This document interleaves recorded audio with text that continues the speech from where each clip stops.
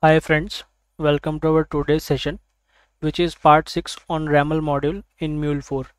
So guys in this session what we are going to do we are going to import assets from Anypoint Exchange in Anypoint Studio and, and also we will see how you can update the newly published version of that asset in the Anypoint Studio if any new version of that asset is published okay let's say a new version is 1.2 and the previous version was 1.1 so how you can update that 1.2 version in your anypoint studio? So that your asset is in sync with the code which you are developing in the anypoint studio. So guys these two things we are going to cover in today's session. Okay and we will also see how you can import asset from anypoint exchange in different ways. Okay so guys without wasting time okay let's go to the anypoint studio and see how you can import that asset and update the published version.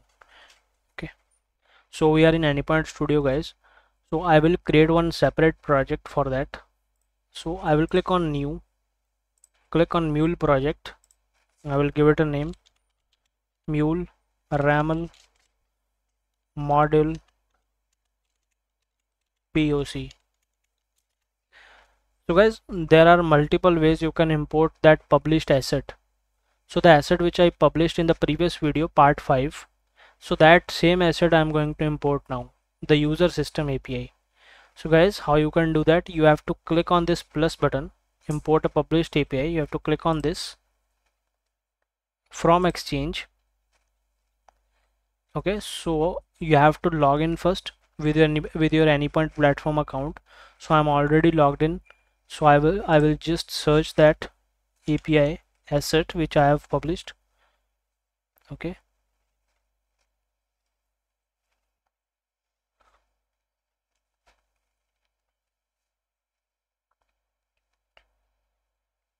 So it's searching. Let's wait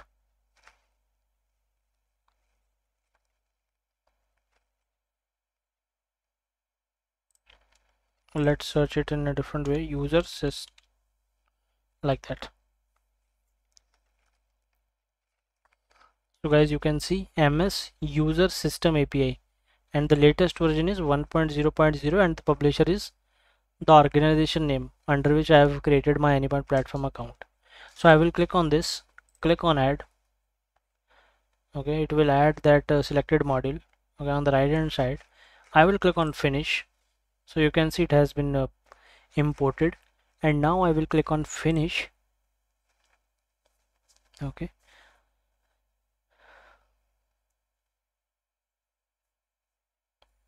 So let's wait.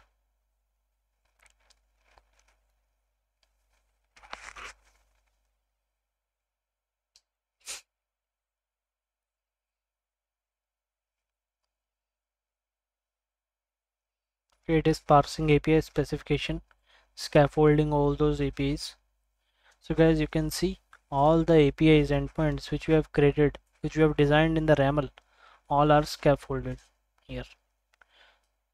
Okay you can see users user ID put delete get health post users.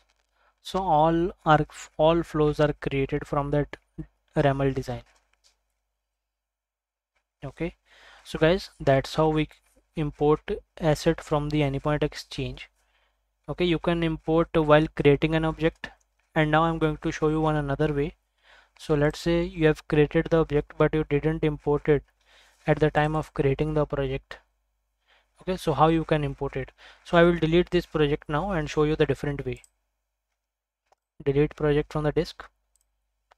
Okay I will create create one new project here give it a name. Mule raml poc okay this time I, I, I will I'm not importing it from here. Okay I'm going to show you the different way how you can import it differently. I will click on finish. So guys how you can import it now? You just have to right click. Click on go to the manage dependencies manage APIs click on plus from exchange okay. Similarly you need to search your API which you have published. Okay. You can see here user system API and the publisher and version. Click on add. Click on finish. Okay. Now you have to apply. You want to scaffold so if you want to scaffold it will create flows based on the corresponding endpoints which you have created in the RAML. Okay? I will click on yes. So guys it has successfully created the flows from those endpoints and scaffold execution succeeded no errors found. I will click on apply and close. So as you can see all the same endpoints which I showed you previously are created uh, again from that RAML and where is that RAML you can see here. Okay RAML zip. Okay this is the RAML root file which we have created there in previous parts. Okay these are all the examples error examples. Okay resource types libraries. Okay so guys I showed you the two different ways how you can import published asset from the AnyPoint exchange now what I'm going to do? I'm going to update this version. So presently this uh, RAML version is 1.0.0 so I'm going to uh, uh, publish one new version. Okay and we will see how you can import a newly updated version from AnyPoint exchange in AnyPoint studio under this project. Okay so presently it's 1.0.0 so next time when a new version will be published I will import that newly version in the AnyPoint studio and show you that how it, the version is updating. Okay and in POM also you can see that RAML version. Okay so presently it's 1.0.00. okay it will be updated after importing a newly created version. So let me show you how you can update uh, you can publish a new, uh, other version other new version. Okay and how you can import it in the anypoint studio okay let's go to the anypoint uh, platform first. Okay I will click on sign in. Go to the design center.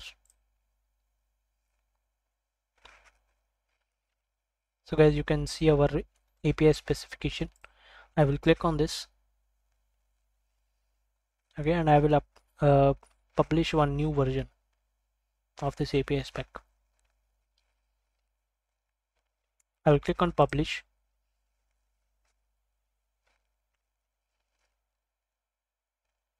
Okay this time the version will be 1.0.1 okay API version v1 and I will click on publish to exchange. Okay so the version the latest version now is 1.0.1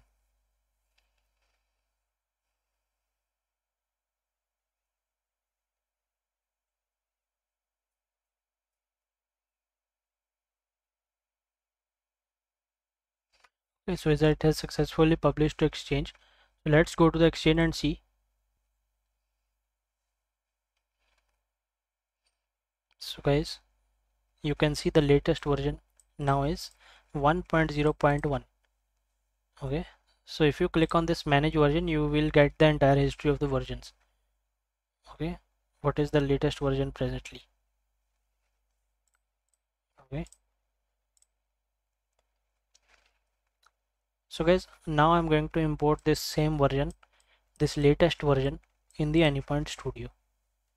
Okay so let's go to the Anypoint studio and see how you can import it how you can update the it with the latest version.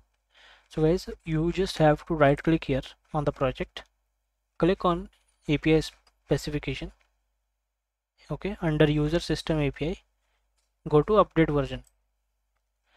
Click on this refresh it click on this update version. Okay you can see one new our latest version now. Click on apply. So guys if you uh, uh, want to scaffold you you want you can scaffold. So if you want to ignore this scaffolding that also you can do. So in that case it will just update the version in the POM. Okay and the and in the API router config.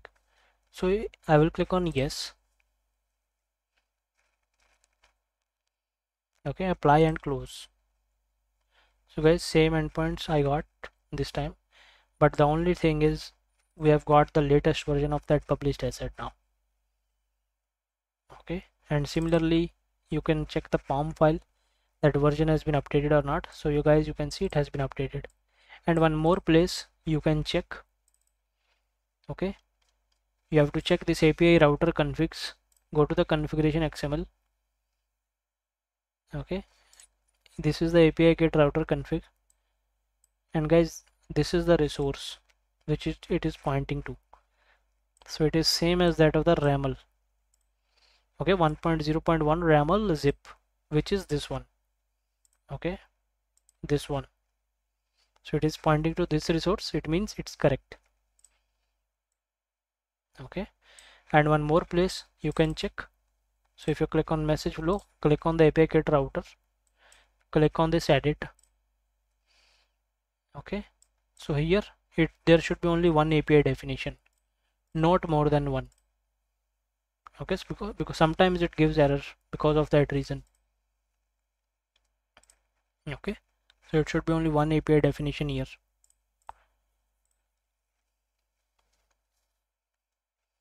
so guys that was all about this uh, uh, part 6 on importing assets from the anypoint exchange and how to update it in the anypoint studio.